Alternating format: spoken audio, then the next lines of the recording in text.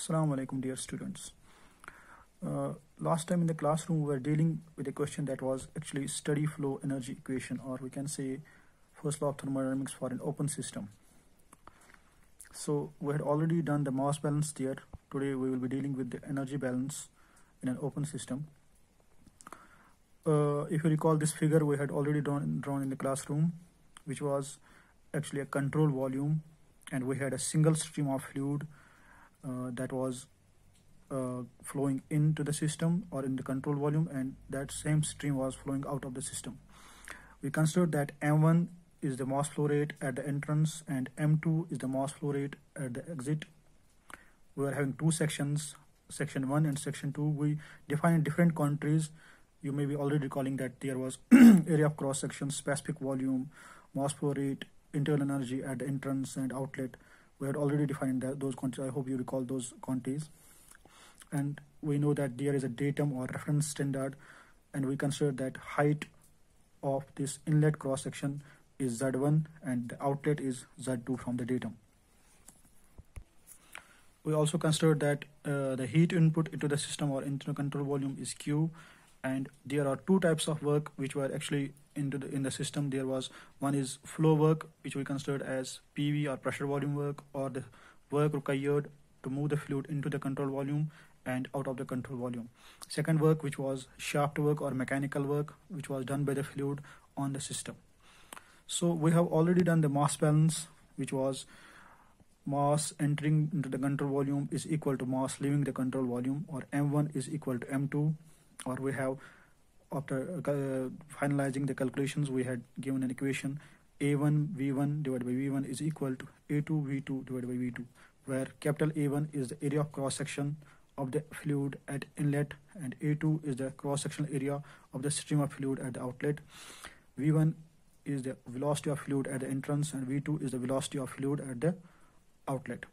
Small v1 is the specific volume of fluid at the entrance and small v2 is specific volume of the fluid at the exit. This equation we called as equation of continuity. Now now after doing the mass balance, we will continue with the energy balance for the same. Actually, when we are dealing with the energy balance, we have to consider different types of energies that are crossing the control volume. First of them is internal energy of the fluid that is stored in the fluid.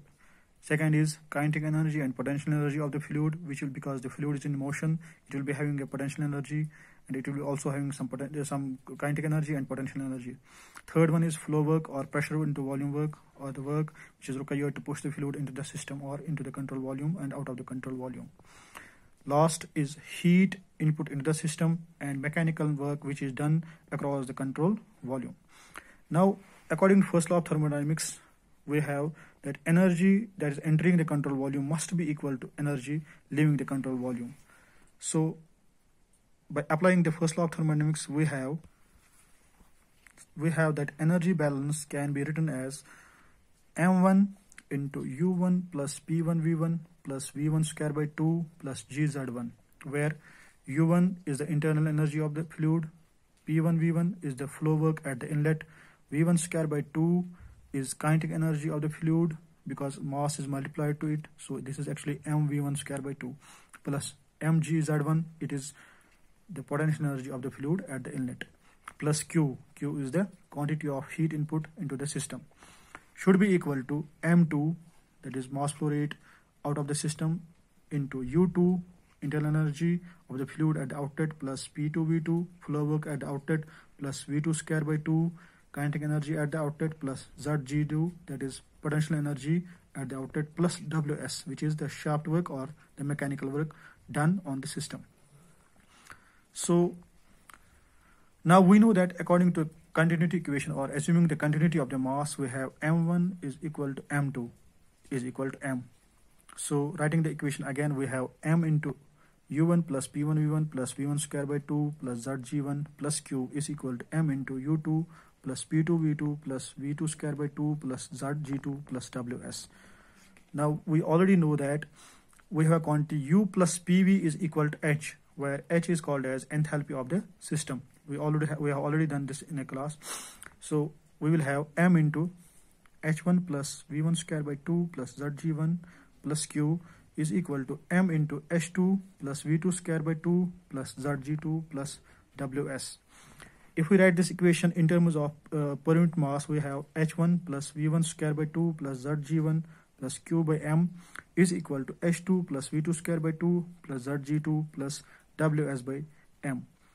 This equation is called as steady flow energy equation and this equation will be used for, for the calculation of various numericals which will be dealing in the next session inshallah. Thanks.